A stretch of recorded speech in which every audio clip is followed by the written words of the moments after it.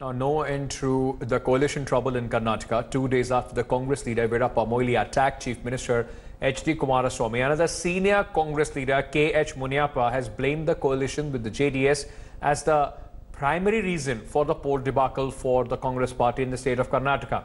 He said the coalition has not just proved costly to the Congress but also to the JDS.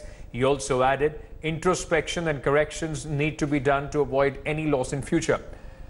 The leader added that the Congress will run the coalition government, but will contest triangular elections going forward. ಇಲ್ಲ ಮೈತ್ರಿಯಿಂದ ನಮಗೊಬ್ಬರಿಗೆ ತೊಂದರೆ ಆಗಿಲ್ಲ, ಅವ್ರಿಗೂ ತೊಂದರೆ ಆಗಿದ್ದಲ್ಲ. ದೇವೇಗೌಡರಂಥವರೇ ಸೋತಿದ್ದಾರಲ್ಲ, ಇದರ ಅನುಭವ. ಯಾರನ್ನೂ ದೂಷಣೆ ಮಾಡುವಂಥದ್ದಲ್ಲ. ನಮ್ಮ ಮೈತ್ರಿ ವ್ಯವಸ್ಥೆ ಸರೋಗಲಿಲ್ಲ ಆದ್ದರಿಂದ ಇದನ್ನು ನಾವು ಮಾರ್ಪಾಟು ಮಾಡ್ಕೊಬೇಕಂತಂದರೆ ಸರ್ಕಾರ ನಡೆಸ್ತೀವಿ, ಆದರೆ ಚುನಾವಣೆಗಳಲ್ಲಿ ಟ್ರಯಾಂಗಲ್ ಕಂಟೆಸ್ಟ್ ಇದೆ. Earlier, Congress leader Veerappa Moili had uh, also slammed Kumaraswamy's luxury village stays and called for introspection in the poll loss. ಜನರ ಜನರಿಗೆ ಬಿಟ್ಟದ್ದು ಅಭಿಪ್ರಾಯ ಆದರೆ ಮುಖ್ಯಮಂತ್ರಿಗಳು ಮತ್ತು ಇವರು ಕೂಡ ಈಗ ಕಾರ್ಯ ಮುಖ್ಯವಾಗಿ ನಾವು ಆಡಳಿತೆಯಲ್ಲಿ ಸಿ ಗಂಭೀರವಾಗಿ ಪ್ರಯತ್ನ ಮಾಡಬೇಕು ಮಂತ್ರಿಗಳು ಕೂಡ ಅಷ್ಟೇ ಬರೀ ಮುಖ್ಯಮಂತ್ರಿ ಆದರೂ ಮಂತ್ರಿ ಆದರು ಅಂತೇಳಿ ಅವರು ಕೂತ್ಕೊಳ್ಳೋದಲ್ಲ ಅದು ರಾ ಭಾಳ ಗಂಭೀರವಾಗಿ ಜನರ ಸಮಸ್ಯೆಗೆ ಸ್ಪಂದಿಸಬೇಕಾಗ್ತದೆ. ಬಹುಶಃ ಒಂದು ನಮ್ಮ ಮೊನ್ನೆನ ಸೋಲಿಗೆ ಅದು ಒಂದು ಕಾರಣ. ಆ ಸರ್ಕಾರ ಸರಿಯಾಗಿ ಸ್ಪಂದಿಸದಿರುವುದು ಕೂಡ ಒಂದು ಕಾರಣ. ಅದನ್ನು ತಿಳ್ಕೊಳ್ಬೇಕು. ಒಂದು ದಿವಸ ಕೂಡ ಇದರ ಪುನರ್ವಿಮರ್ಶೆಯ ಒಂದು ಪ್ರತ್ಯೇಕವಾದಂಥ ಒಂದು ಸಂಪುಟ ಸಭೆಯನ್ನು ಕರಿಬೇಕು. ಎಲ್ಲಿ ಸರ್ಕಾರ ಎಡವಿದೆ, ಯಾವ ಕಾರಣದಿಂದ ನಾವು ಸೋತಿದ್ದೇವೆ, ಇದರ ಪುನರ್ವಿಮರ್ಶೆ ನಡೆದಾಗ ಕಾಣ್ತಾ ಇಲ್ಲ ನಮಗೆ. ಬರೀ ಮಂತ್ರಿಗಳು ಅಥವಾ ಊರಿಡಿ ಸಂಚಾರ ಮಾಡಿದರೆ ಮುಖ್ಯಮಂತ್ರಿಗಳು ಸಾಕಾಗೋದಿಲ್ಲ. ಅವರು ಇದರ ಬಗ್ಗೆ ಪುನರ್ವಿಮರ್ಶೆ ಮಾಡಬೇಕು. ಎಲ್ಲಿ ಅಡವಿದ್ದೇವೆ ಎಲ್ಲಿ ಸರ್ಕಾರವನ್ನು ನಾವು ಬಲಪಡಿಸಬೇಕು ಜನಗಳ ಹತ್ತಿರ ಕೊಂಡೋಗ್ಲಿಕ್ಕೆ ಹೇಗೆ ಸಾಧ್ಯ? ಆಡಳಿತ ಜನಗಳ ಹತ್ತಿರ ಹೋಗಬೇಕು.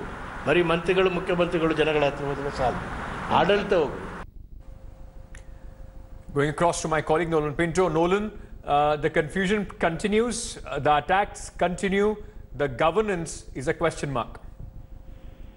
Well, in fact, uh, that is what most of the people here are asking, questioning what is happening because the chief minister has begun his, uh, according to him, his popular Grama Vastavya, which is known as the village stay. Now, uh, even Mr. B.S. Yadurappa from the BJP has attacked him, saying that instead of actually going and doing this, he should be looking into the uh, uh, problems across the state, especially since many taluks are still uh, uh, uh, are drought affected. So he says where the drought relief measures, nothing much is happening over there. And now from the Congress itself, the coalition partners, they are they are actually coming out and uh, giving different statements, saying that uh, well, let the coalition uh, continue.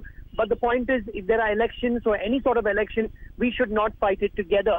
So while all these things are happening, people are wondering where on earth uh, is any sort of governance because nothing much is taking place as of now in Karnataka. Thank you for joining us with all those details. Thanks for watching the video.